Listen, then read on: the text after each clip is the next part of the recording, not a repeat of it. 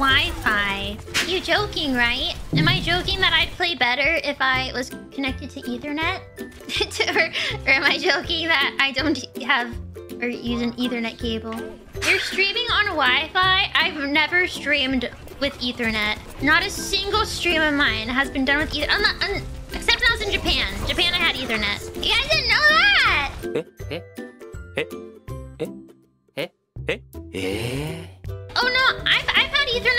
Before. But you see, the places I live in make Ethernet very obnoxious because my router, the only place I can put my router is as far away from my PC, my office, as possible. And I hate having just wires out.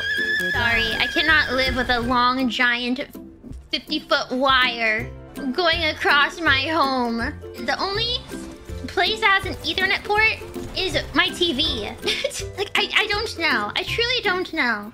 Drill a hole through your wall. I rent. Cancel her until she gets a cord. I have a cord.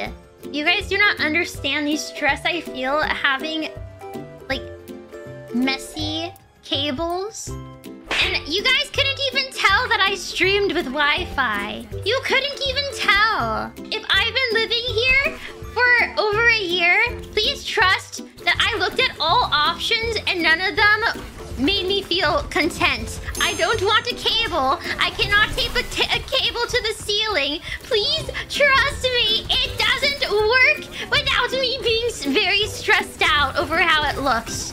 It's just, just trust me when I say it's just insanely inconvenient. Please. We're moving now.